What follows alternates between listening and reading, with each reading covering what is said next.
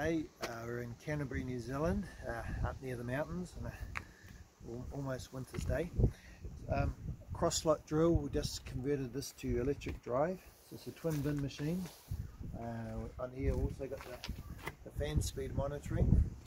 And around the back here, you can see uh, how we've integrated the electric drive motor to the metering system. So up under here you can see the uh, electric drive motor with the adapter plate. So let's yeah, have a wee peek in there. There's the FieldMate drive there. Yeah, this is up there, FieldMate drive. And the um, adapter plate all tucked in nicely. So these FieldMate plates work well on the uh, on the cross slot drills. So we twin bin on both seed and fet. Run one loop from the motor's speed sensor, road wheel sensor if you want to drill. Uh, cabled up into the cabled up into the tractor cab.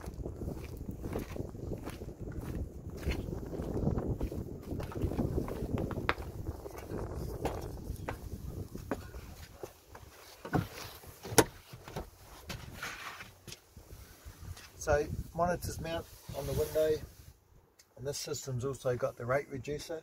So here you can turn a rate reducing control on and you can drop your drilling rate by 25, 50 or 75% at the flick of a switch.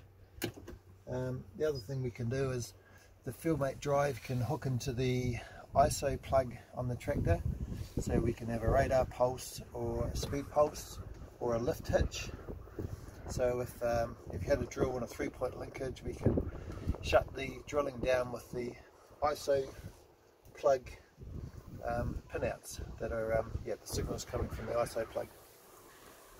And that's probably about it. Um, calibration super simple. So in this case, if we were to calibrate a bin, just come into here to set bin one, then straight away it's waiting for you to calibrate the bin. You can walk down to the bin, push the, the calibration switch on the drill, that would release material from the bin. Then you'd shoot up here with your weight, because you would have weighed it down at the drill.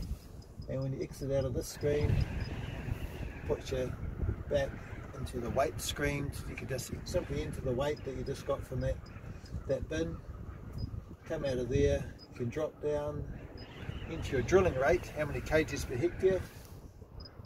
And once again, we've got the bar graph here to show you your drilling rate at set at a set speed. So um, the motor RPM at 10 k's an hour, it tells you in this case it's 14 RPM. So just knows that the, the motor's in, in the rev range that you need to um, be in uh, before you start drilling. So the motor could run from 3 RPM to 100 RPM. So if uh, for whatever reason you calibrated a weight too small, the, um, the motor revs will be way off for the electric drive. So it just lets you know that before you get started, the, uh, the, drilling rate's in, in, the right, in the right area. So in this case, uh, 10 k's hour, motor's running 14 RPM. So that's, that's pretty good.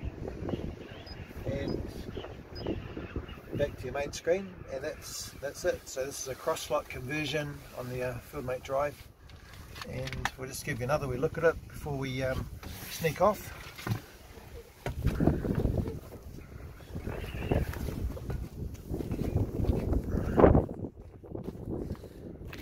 So this um, install was done on farm because the um, adapter plates for the FieldMate don't need any welding or anything.